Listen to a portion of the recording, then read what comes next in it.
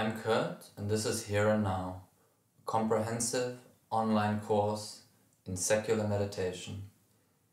Today I'm going to be talking about the different ways we can sit for meditation. So it's a big obstacle a lot of people have aching knees, aching backs, and um, I want to first tell you that it doesn't have to be like this at all.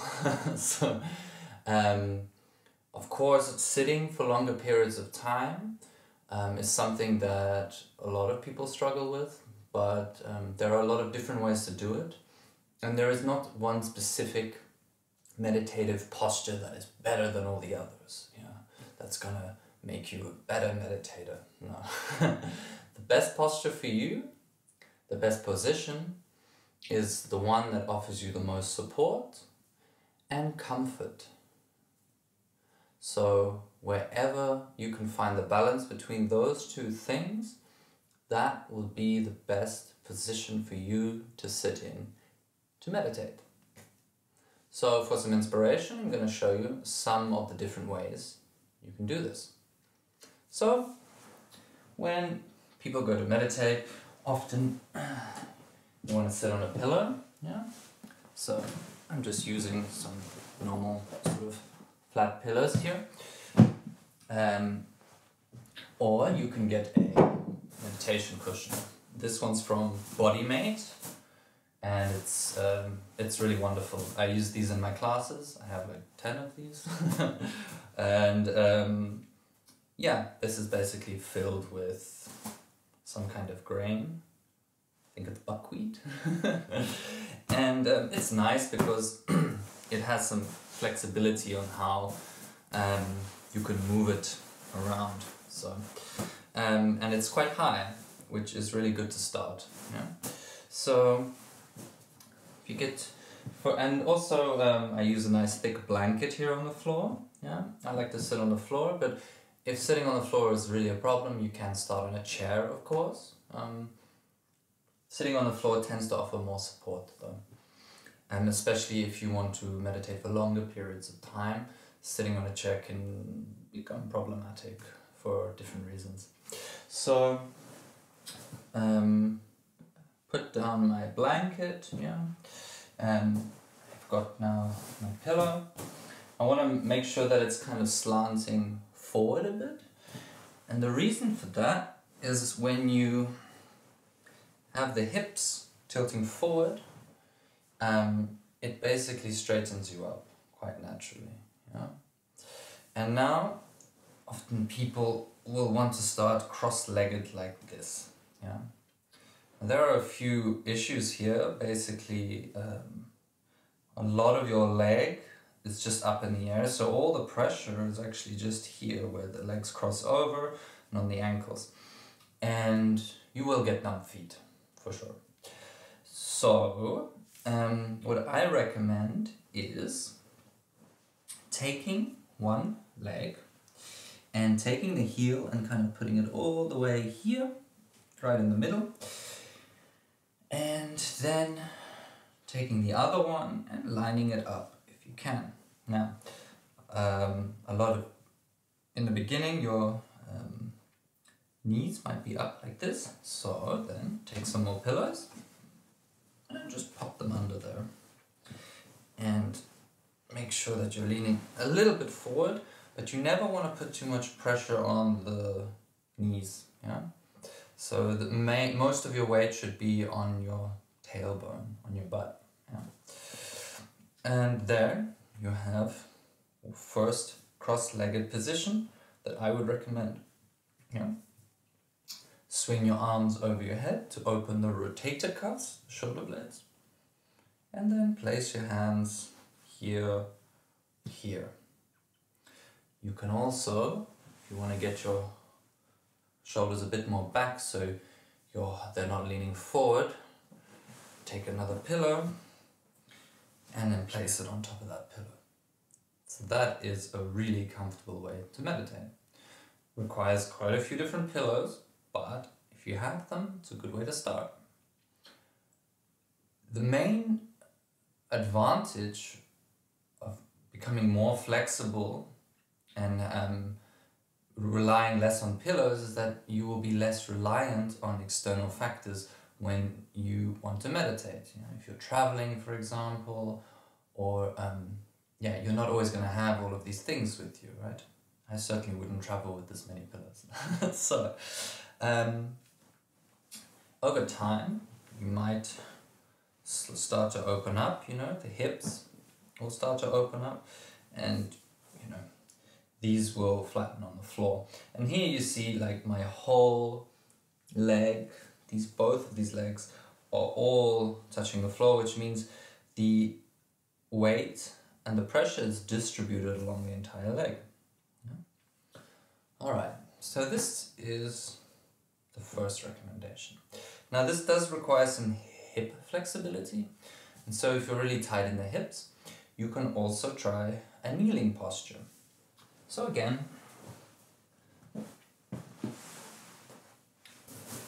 taking your cushion and putting it here and we want to kind of sit on it like this. So, back like this. Hmm? This requires the least hip flexibility and also the least flexibility in the knees. They don't need to flex, basically. Yeah? Again, roll the shoulders and put your hands here or grab a pillow for that extra height there. Yeah? Um, I'll show you this from the side.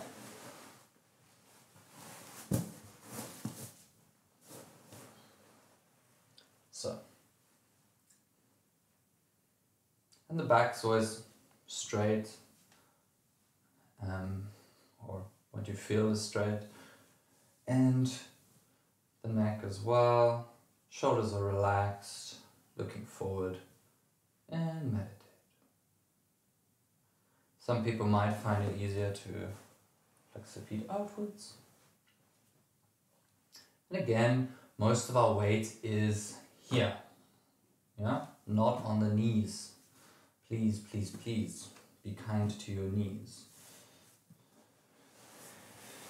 Okay, so here I have a little stool and we constructed this thing pretty quickly. It's quite easy. So I'll post a link in um, in the description of um, instructions of how to construct one of these. But it's really just three.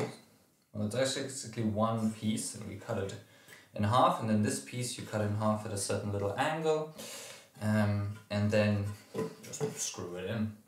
Um, you can also buy these. Um, I know people also have foldable ones with cushion on the top that you can buy. But um, yeah, this does the trick. And these really, really come in handy during the retreats. they really, really um, saved us, I would say, in the last one. so, um, so again, I'm kneeling. I put this here.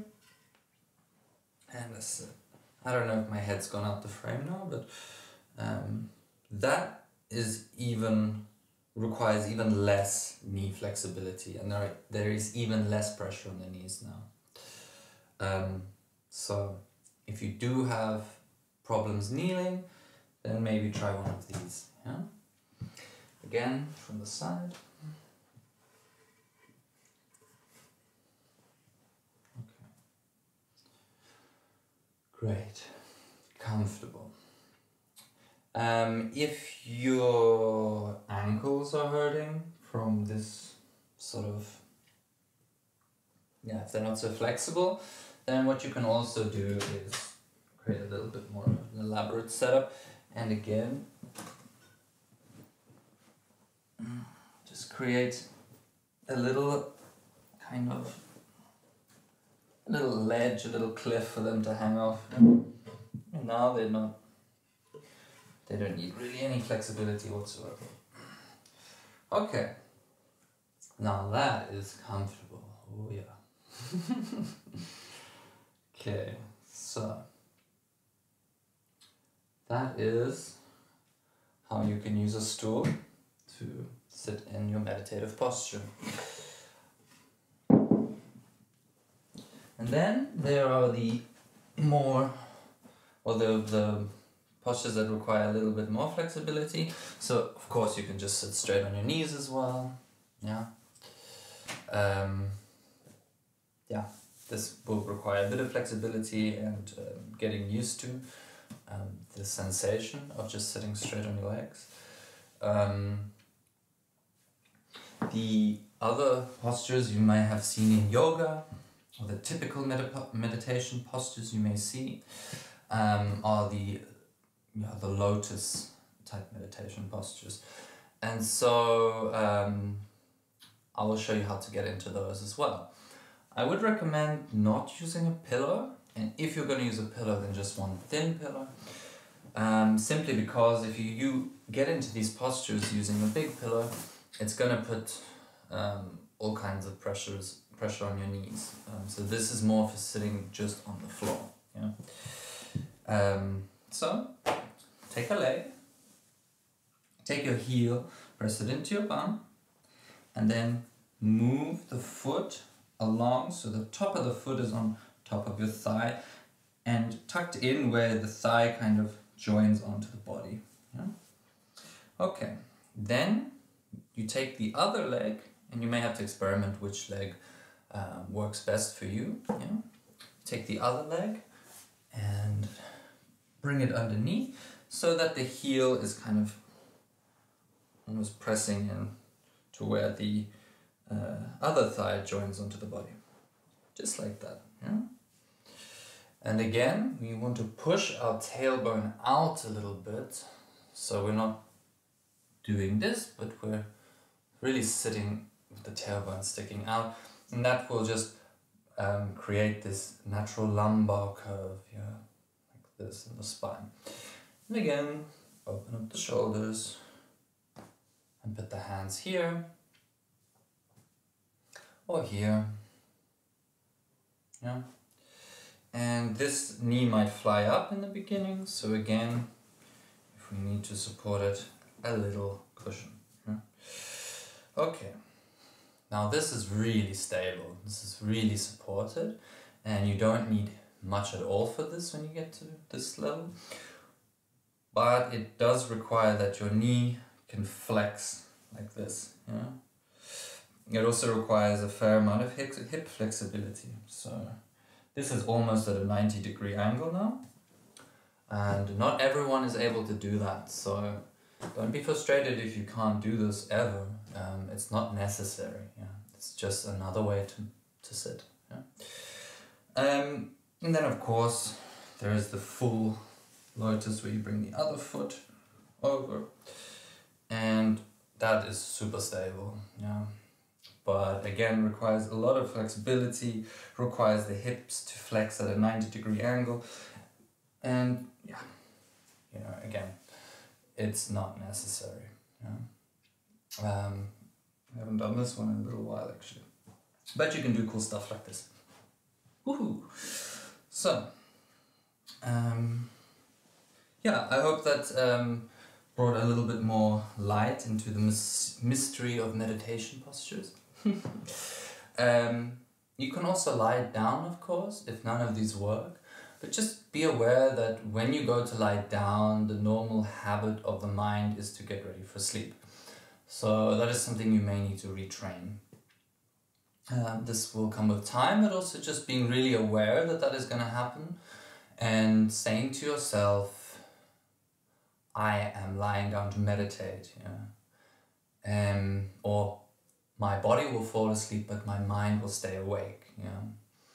Um, this, this then can be a really comfortable meditation posture as well. Um, but I would absolutely, if you can, recommend sitting first, yeah. Um, okay, I think that's it. So, um, if anyone has any um, other experiences with any different kinds of different ways of sitting um, or has any difficulties, then please let me know in the comments. I hope this video was helpful um, and thank you so much for watching and thank you for helping me build this community. Let's do this together and uh, yeah, see you soon.